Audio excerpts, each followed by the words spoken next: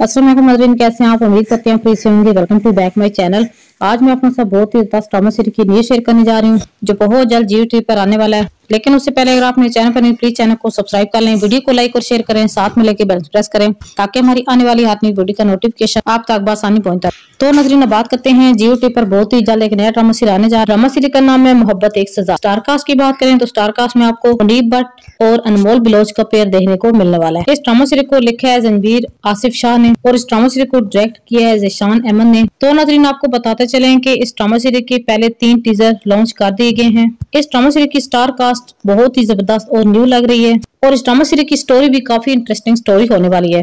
क्योंकि इस drama series को लिखा है जनवीर आसिफ शाह ने और इनका हर ड्रामा सीरियल तकरीबन दूसरे ड्रामा सीरीज़ बहुत ही डिफरेंट होता है। ये ड्रामा सीरीज़ आपको मन्नत मुराद ड्रामा सीरीज़ रिप्लेस करते हुए दिखाई देने वाला है। ये ड्रामा सीरीज़ आपको मंडे और ट्यूसडे की रात आठ बजे जियो टी पर देखने को मिलेगा।